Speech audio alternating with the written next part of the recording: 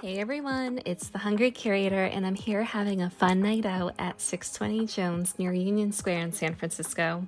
You wouldn't believe it, but this unassuming corridor in between two buildings leads to an awesome rooftop patio and restaurant with the best atmosphere.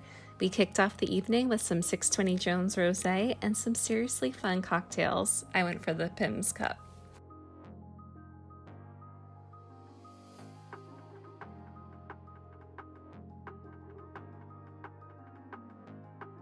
Once we placed our orders, we decided to chill at the open air bar and take some photos and videos on the terrace. The bartender was super friendly and took the time to walk us through each cocktail on the menu. I gotta say, this place knows how to do cocktails right, and their game was seriously strong.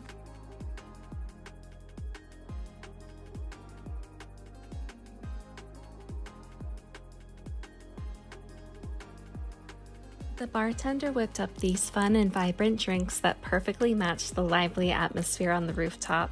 The colors were popping, and each one had their own distinct flavor. It was evident that they put a lot of thought into crafting their cocktails to complement the vibe of the space.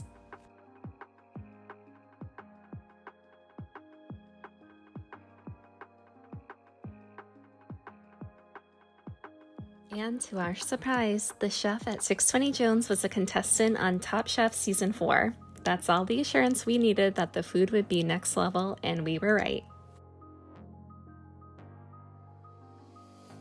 We couldn't resist indulging in their mouth-watering fish tacos, creamy burrata, fresh ceviche, and buffalo wings.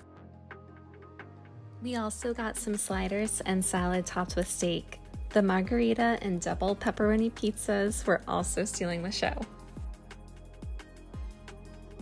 To make the night even more special, we celebrated a friend's birthday with a delectable chocolate torte. It was the perfect touch to end the meal on a sweet note. 620 Jones is a hidden gem in the city, offering great vibes, fantastic food, and delicious drinks. It's safe to say that we had an unforgettable night. We'll definitely be coming back for more. If you enjoyed this video, please like and subscribe and see you next time.